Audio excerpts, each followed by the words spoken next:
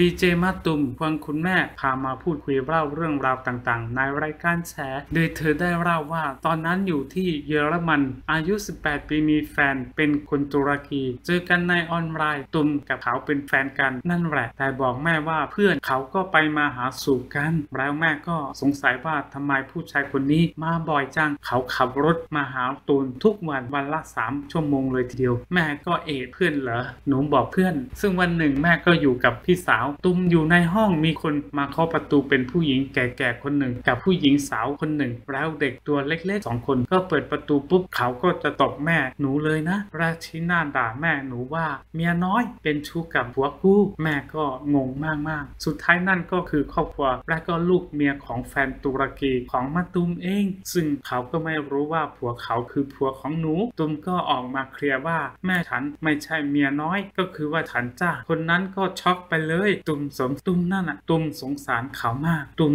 เองก็ไม่รู้ว่าเขามีครอบครัวแล้ว หลังจากนั้นตุมก็เลิกติดต่อไปเลยละตุมรู้ว่าตุมเป็นเพศสภาพแบบนี้ ตุมเลือกไม่ได้ แต่ตุมก็จะไม่เลือกเป็นเมียน้อยของใคร มันผิดศีลธรรมเกินไปไม่ได้